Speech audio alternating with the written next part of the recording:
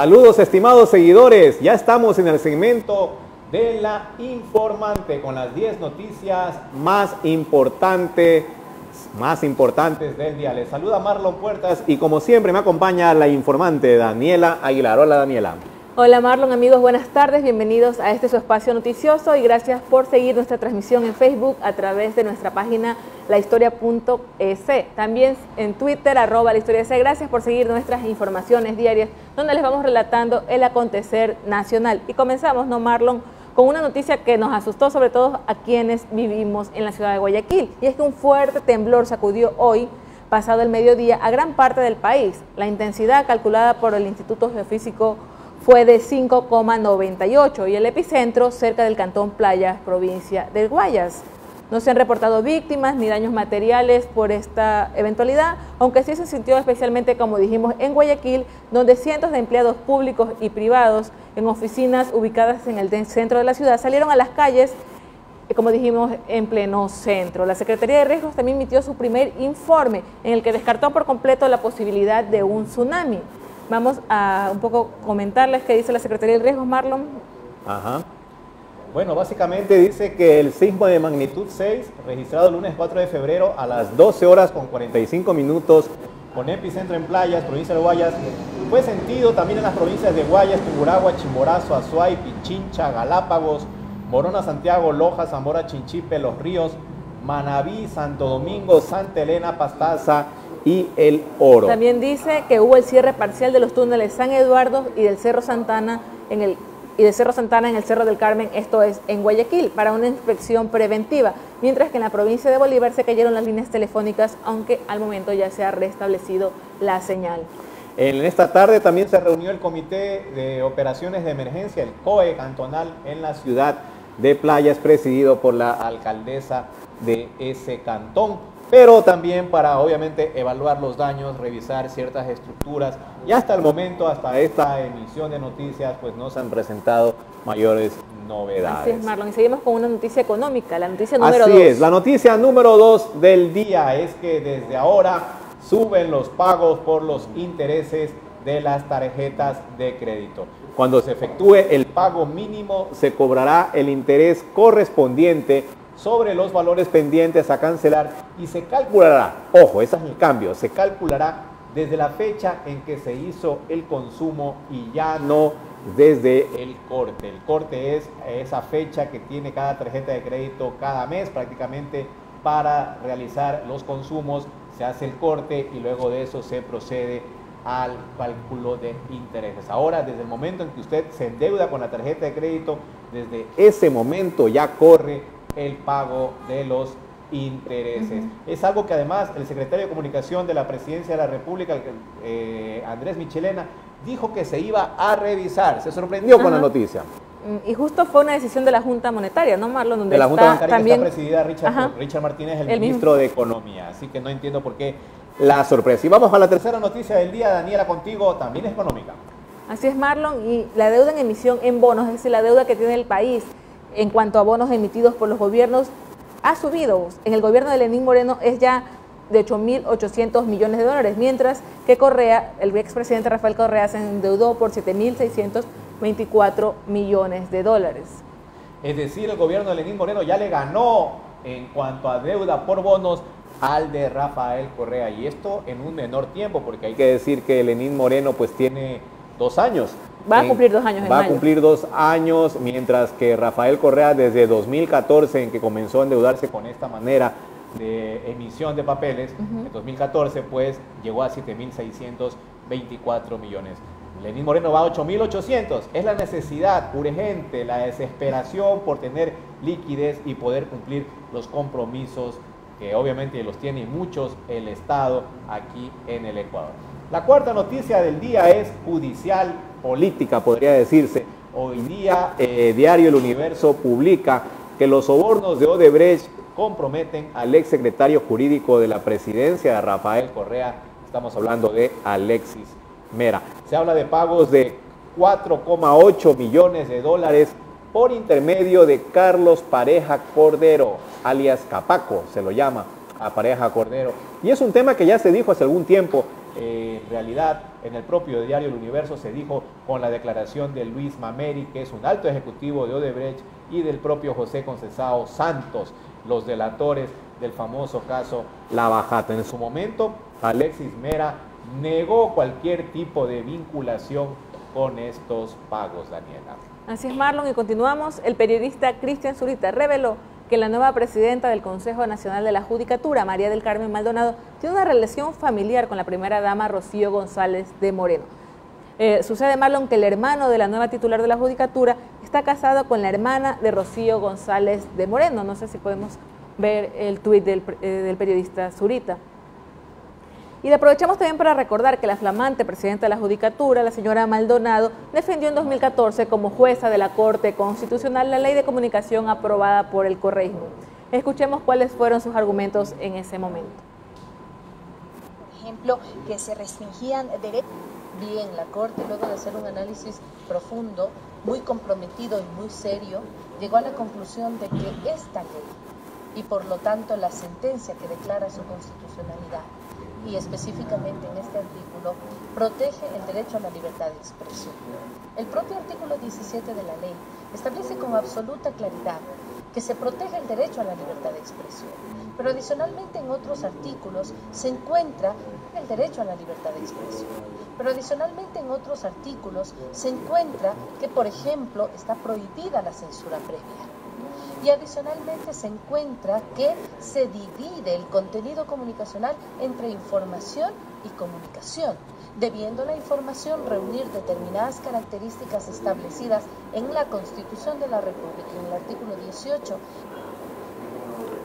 Bueno, yo decía hoy en un tuit en mi cuenta personal que tal vez esto explique el hecho de que una jueza de la Corte Constitucional correísta ahora presida el Consejo de la Judicatura Morenista. De pronto el misterio lo resolvió nuestro colega Cristian Zurita. La sexta noticia del día es que quedó para este próximo día jueves convocada la sesión en la que se conocerá si se destituye o no a la asambleísta del movimiento Creo, Ana Galarza. En principio esa sesión estaba eh, planificada para el día de mañana martes, pero finalmente la presidenta de la Asamblea, Elizabeth Cabezas, decidió que sea el jueves, con lo cual se prolonga un poco la expectativa por conocer el desenlace de la suerte que tendrá la legisladora de Creo, Ana Galarza, señalada por irregularidades en su despacho. Hay que recordar que ya dos de sus asesores fueron despedidos de la Asamblea, uno porque a la vez que era asesor de Ana Galarza, también era dirigente de una cooperativa de transportes, lo que está prohibido, según dijo Elizabeth Cabezas, mientras que la asesora en territorio es la que le daba eh, la tarjeta magnética al esposo de Galarza para que pueda eh, entrar libremente cuando quería en la Asamblea Nacional. Y también no se aparecía mucho por las oficinas de la Asamblea en Ambato y simplemente cumplía su trabajo retirando revistas y hablando con la gente en la calle. Y esos dos asesores resulta que estaban casados, ¿no, Marlon? Y aparte eran esposos, lo cual obviamente no, no era ningún problema de tipo personal, pero, en todo caso ambos ya fueron separados. Y algo dijo Ana Galarza, ¿no? Algo dijo Ana Galarza. Ana Galarza tiene eh, eh, asustados a muchas personas porque dice que ella va a decir el nombre de la persona muy cercana a Lenin Moreno que ha comprado periodistas, que ha comprado asambleístas y troles para conseguir su destitución. Escuchemos. Pagados por una persona que después que mensajes de texto y porque el país va a saber a qué prensa compró, a qué asambleístas compró, a qué asambleístas quiso comprar, todo eso yo he ido guardando, porque el país tiene que saber a quién le resultó incómoda, qué negociados fue, fueron los que se afectaron en este proceso y que por eso ahora quieren la cabeza del asambleísta Ana Galarza. Es decir, detrás de, todo, digamos, de toda esta campaña, ¿usted afirma que hay, hay alguien en particular con algún interés? Sí, hay una persona que obviamente tiene influencia en el gobierno, y esa persona que tiene influencia en el gobierno es muy cercana incluso al presidente Lenin Moreno. Y mañana empieza oficialmente la campaña electoral por las elecciones seccionales del próximo 24 de marzo. Pero los candidatos comenzaron mucho antes con sus ofertas y lo hemos estado reportando con nuestros hashtags ofertas, ofertas. Por ejemplo, entre los últimos está el ofrecimiento de Cintia Viteri, candidata a la alcaldía de Guayaquil. Ella ha ofrecido médico en tu bolsillo, atención médica gratuita por videollamadas las 24 horas, los 7 días de la semana. Yo te ofrezco también es el hashtag que hemos usado, Marlon. Así es, y veamos, ahí está el video de Cintia ofreciendo médico en tu bolsillo. Las decisiones en materia de multa que tenga que tomar, pero sí te puedo adelantar algo. La, la forma de cobro de las multas será cambiada. Aquí ese no era, estaba hablando ahí Cintia Viteri más bien de las multas, que también ofreció que cuando ella sea alcaldesa le va a dar la posibilidad a las personas de hacer convenios de pago y también que asistan a clases de entrenamiento para reducir para reducir las multas hasta el 75%, Daniela. Así es, Marlon, continuamos. Así es. Seguimos hablando de política y es que ya ahora que empieza oficialmente y a partir de mañana la campaña, los políticos intensifican sus visitas. Y en estas ciudades que están visitando, pues lucen atuendos diversos.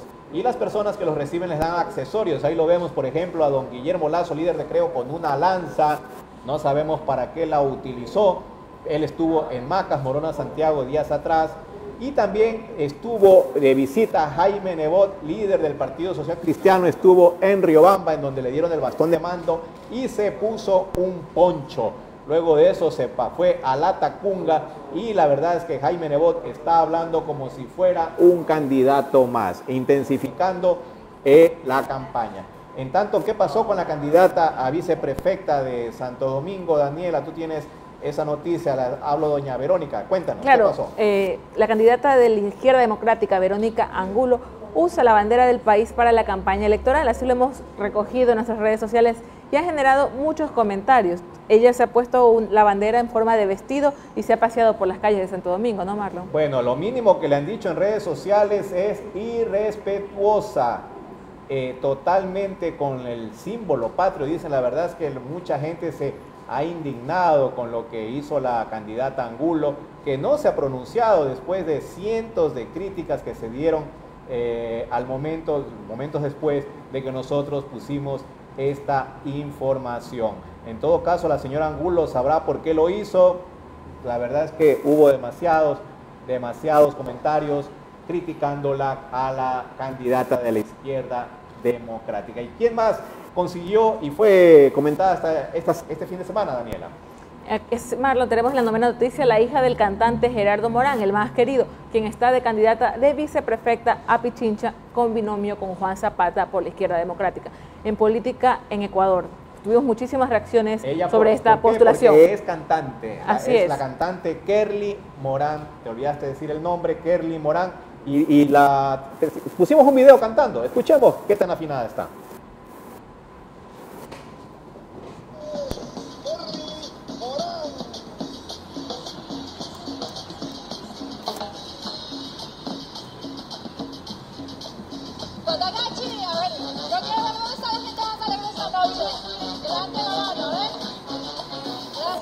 maestro. Vámonos.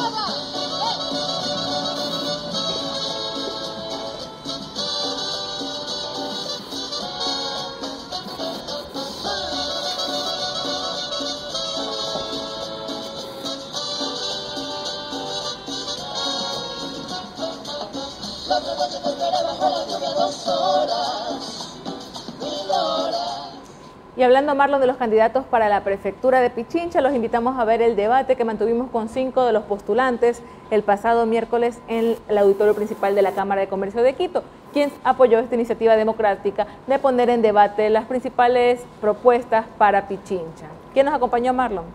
Estuvo Federico Pérez del Movimiento Creo, estuvo Diego Salgado del Partido Social Cristiano, estuvo Paola Pavón de la lista 5 correísta, también Patricio Uvidia de la 19 y finalmente Pablo Vélez. Pablo Vélez de Pachacuti. Así es.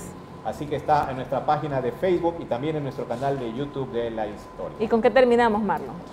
Bueno, terminamos con una nota que me llamó mucho la atención.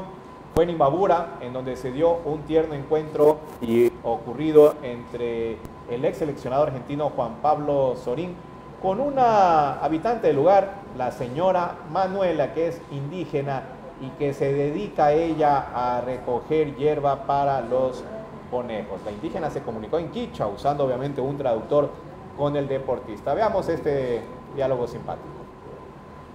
¿Cómo se llama? ¿Cómo es su nombre? Habla Y Mayuticangini. Yo que Manuela Quinatoa, Manuela Quinatoa dice. Manuela. Un gusto, Manuela. Un placer conocerla. Manuela Quinatoa. Ay, allí ya Rixikanenin. Cuénteme qué está, qué está juntando. Y mata tapamunginin kaipi. Ya, Nabus Bata. Ah, hierba dice, nabo. Hierba para... Ok. Y mapa capamunginin. Cuyema. Cuando jugamos, Conejo, para los conejos dice. Para los conejos. Sí. Ok. ¿Y esto lo hace todos los días? cuando jugamos. Cada puncha chukai apim ringinin. Nah, bueno, apamone. Ya, sí, dice. cada día. Bueno, apamone. Bueno, muchas gracias. Eh, allí Dios lo pagini. Eh, Foto mata, foto rico rico foto. Saluda a la gente. Diga chao. Chasna reinin, chasna reinin, chasna. Muchas gracias. Se ganó el corazón de la hinchada del Mushu Runa y no solo de la hinchada del equipo del Ponchito, sino también de gente que ha visto y una sensibilidad especial por parte del ex seleccionado argentino al tratar a esta compatriota nuestra. Así es, Marlon, amigos, gracias por seguirnos. Seguimos informando en nuestras redes sociales, como saben, en Twitter, arroba la historia C y Facebook, la historia.es. Nos encontramos transmitiendo en vivo vía Facebook Live desde las oficinas de Central World Lab, las oficinas de coworking desde las que trabajamos en la ciudad de Guayaquil. Gracias a ustedes estaremos transmitiendo eh, más entrevistas también con los candidatos a las elecciones, ahora que ya es oficial el inicio de la campaña política a partir del día de mañana. Muchas gracias por su atención y seguiremos informando. Hasta entonces.